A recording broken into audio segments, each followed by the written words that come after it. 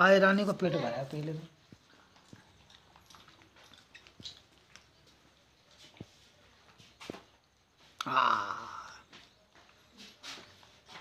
晚上又重新插载了一哎。